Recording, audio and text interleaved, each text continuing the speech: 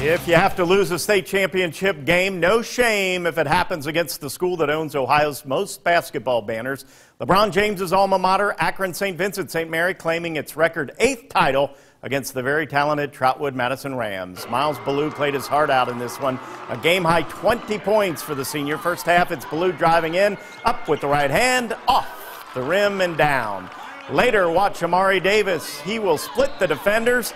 The bank is open. The Rams, though, needing more deposits as they trailed early in this one.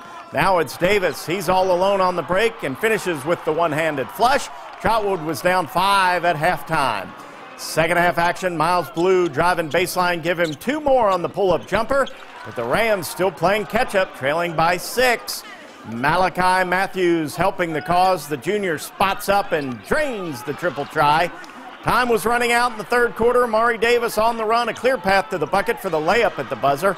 The Rams were down four after three quarters. The Irish, though, never giving up the lead. Rocky Rockhold could only watch as his Rams come up short. Trotwood Madison's bid for a first ever state basketball title is denied by St. Vincent St. Mary. The Rams fall short 60 to 51. I think eventually you look back and you say, you know what, we had a heck of a year and we did some great things. Um, didn't end the way we wanted to, but remember, it only ends the way you want it to for one team. That's it. No, other teams don't get to end it the way they want. If you lose your last one, it never ends the way you want. So we'll use it as a life lesson and a building block, and you know we'll try to make sure these kids know how much we love them. And at the end of the day, that's what's important.